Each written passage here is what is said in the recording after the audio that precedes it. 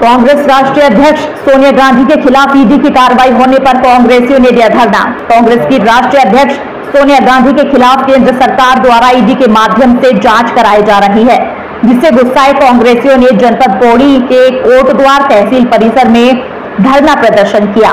साथ ही सरकार के खिलाफ जमकर नारेबाजी भी की और ईडी का दुरुपयोग करने का केंद्र सरकार पर आरोप लगाया।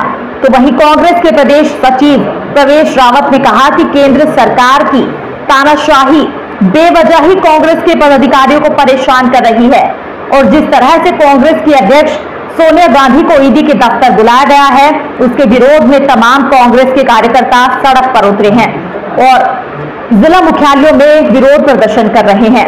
जब तक भाजपा सरकार को सत्ता से नहीं उतार देते तब तक कांग्रेस कार्यकर्ता इसी तरह धरना प्रदर्शन करते रहेंगे और संघर्ष निरंतर जारी रहेगा।